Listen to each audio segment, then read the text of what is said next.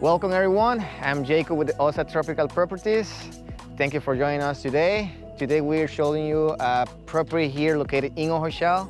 It's a great location, 50 minutes away from Uvita town, 10 minutes around from the beaches, Ventanas. In this town you can find uh, a pharmacy, supermarkets, a pickleball, gym, waterfalls around the area, so much to see. So today this property is a 9,500 square meters size or 2.34 acres. There is a creek in between the property.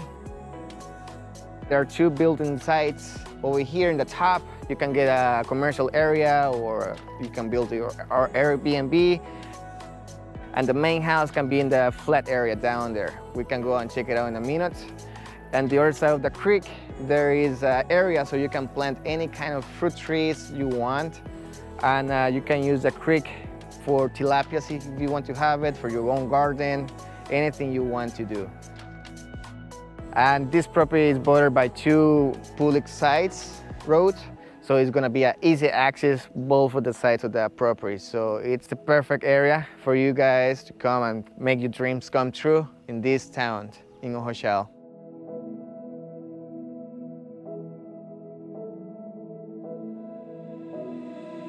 All right, and here's your building sites. What I tell you, it's all around trees. You can build your house over here and you can keep all the trees on the area so you can get the house more fresh. And there's the other public road. So it's gonna be access down here and access up there for the other building sites. All right, and this is part of the creek I'm telling you guys. This area over here is really calm. You guys can get a little picnic area here for your family and come and enjoy the peaceful of the water, the nature around. By the road, you guys can private that, put in some plants or bamboo. It will be give you more privacy for your property. Okay, and right here is the limit of your property with a neighbor. You can get a, a fence over there with bamboo as well. And you can use this or for fruits, or you can small, build a small cabin up here. This property has access to electricity power lines, legal water of Asada from Ojochal, and internet as well.